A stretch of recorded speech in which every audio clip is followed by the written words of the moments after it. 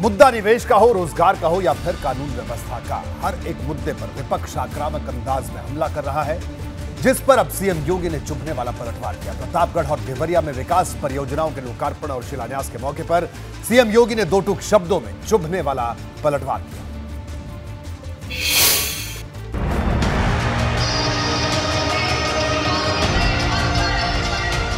हम लोगों ने उनके नाजायज कार्यों को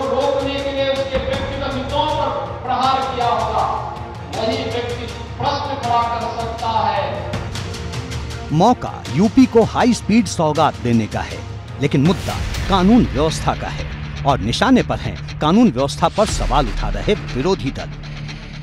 आज उत्तर प्रदेश की कानून व्यवस्था पर वही उंगली उठाएगा जिसको या जिसके व्यक्तिगत हितों पर हम लोगों ने उनके नाजायज कार्यों को रोकने के लिए उसके व्यक्तिगत हितों दरअसल विपक्षी पार्टियाँ कानून व्यवस्था को लेकर लगातार सवाल उठा रही हैं जिस पर सीएम योगी ने दो टूक शब्दों में प्रहार किया। और ग्लोबल इन्वेस्टर समिट के समय प्रदेश में 35 लाख करोड़ रुपए के प्रस्ताव प्राप्त होते हैं। अगर सुरक्षा नहीं होती तो क्या ये 35 लाख करोड़ रुपए का निवेश प्रस्ताव हमें मिल पाता? विकास परियोजनाओं के लोकार्पण और शिलान्यास के मंच से सीएम योगी का संदेश बिल्कुल साफ़ है। कि यूपी में कानून व्यवस्था के मोर्चे पर सरकार की नीति बिल्कुल क्लियर है और यूपी विकास के पथ पर तेज़ी से आगे बढ़ रहा है। डबल इंजन की सरकार का साथ दिया।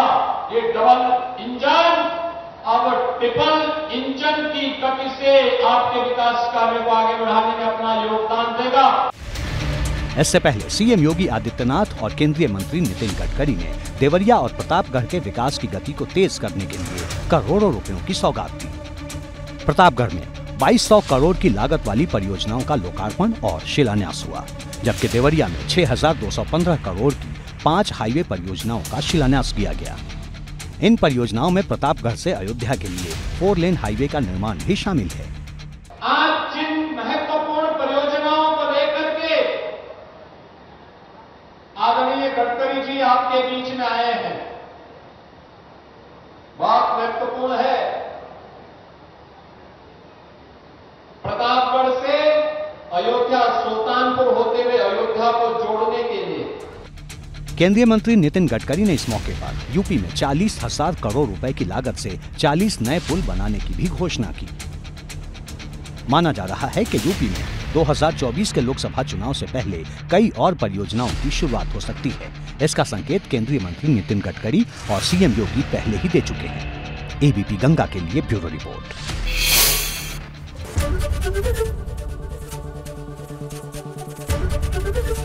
एबीपी गंगा खबर आपकी जुबा आपकी।